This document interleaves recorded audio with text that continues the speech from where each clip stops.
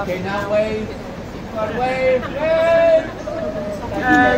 I think that the problem is, and this is the, this is the case in a lot of constituencies, um, that the Conservative Party get here, in here on an actual minority of. So they get here in on about a third of the vote.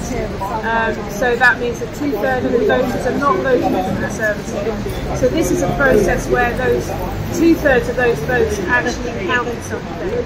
And so I'm just fed up of my vote not counting. So this is why I'm getting behind the South End